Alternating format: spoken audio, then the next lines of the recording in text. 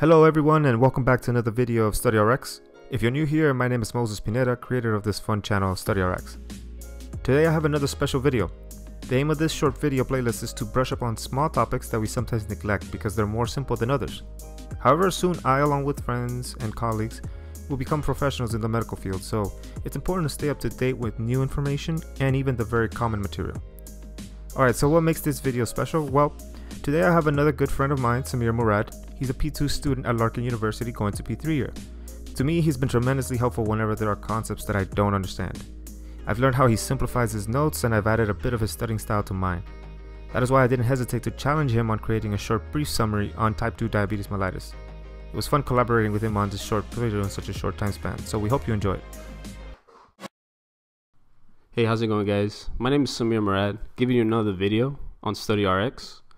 Doing a quick video on metformin, a very common drug used in diabetes.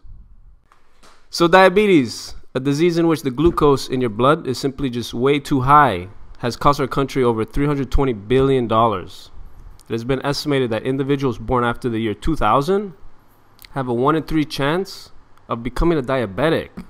That's crazy with a frightening 30% of diabetics not even knowing that they have the disease.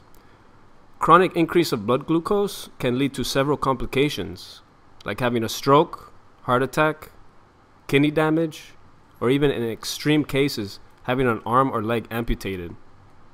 Understanding medications used for this disease is very crucial. Thus, I want to spend my time in this video talking about metformin, which is a very commonly prescribed medication for diabetes. Metformin is an insulin sensitizer. This just means it does not affect the actual secretion of insulin, but it makes your cells more sensitive to insulin. It is very effective in type 2 diabetes. Type 2 diabetes is when you have a decreased number of insulin receptors or you're being insulin resistant. Metformin can also be used in certain type 1 diabetics as well. Type 1 diabetes is when the patient's pancreatic cells responsible for insulin secretion are damaged. Another mechanism for metformin is activating adenosine monophosphate kinase, AMPK, which is also increased during exercise. So I guess you can say then, exercise is a non-pharmacologic alternative to metformin. By doing this, it will stimulate ATP production and decrease the glucose level in the blood. During the starting of treatment, it is common to experience GI side effects such as cramps, bloating, and nausea or diarrhea. Metformin could also possibly lower your B12 levels, so supplementation may be considered.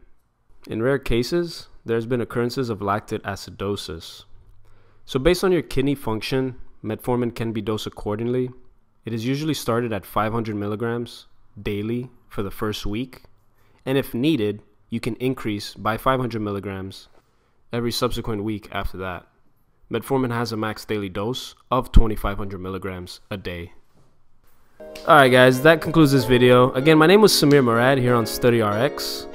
Let me know down below in the comment section if you guys want to hear more about diabetes or metformin or any other drug. Please let us know. Don't forget to smash the subscribe button, like, and comment. Thank you guys.